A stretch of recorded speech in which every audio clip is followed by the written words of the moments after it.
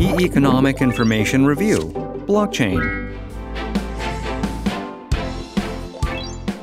To define blockchain simply, it's a distributed database comprising a growing list of ordered records called blocks.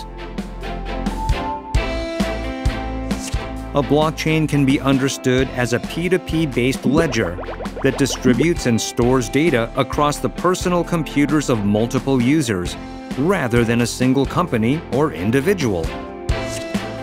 Thanks to these characteristics, blockchain cannot be forged or tampered with, and all transactions can be recorded permanently. The technology has drawn the interest of diverse fields, including public administration and finance, medical care, energy, distribution, and real estate transactions. There are three characteristics of blockchain. First of all, blockchain is a digital ledger. By definition, a ledger is a record of transaction data. Each transaction shows the movement of tangible or intangible goods, services, as well as assets. Second, blockchain offers stability. Blockchain's ledger is made up of its participants and the record of transactions.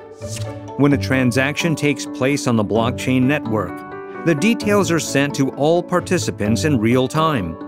Therefore, it is impossible to arbitrarily modify, delete, or change transactions recorded on the blockchain. The stability of the transaction is ensured. The third feature of blockchain is decentralization.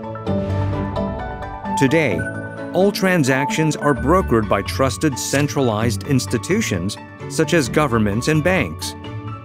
However, blockchain verifies transactions through the consensus of its participants.